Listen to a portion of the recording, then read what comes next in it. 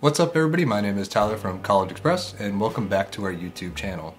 As you may already know, the hashtag CX Gives Back giveaway is well underway for the 2018 year and I just want to go over a few things.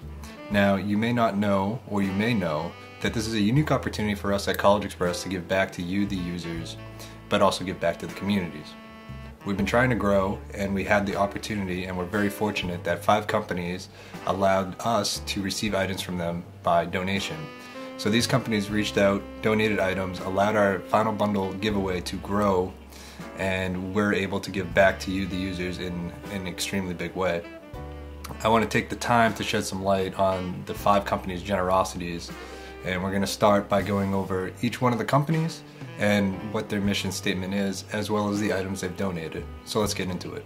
Hand in Hand, Sustainable Suds. That's their motto there at Hand in Hand Soap.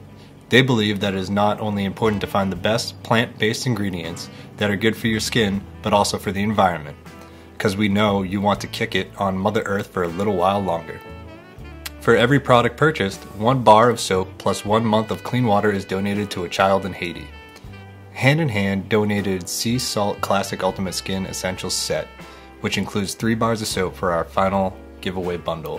We want to give a special shout out and thanks to Hand in Hand for doing so. Thank you very much, Hand in Hand.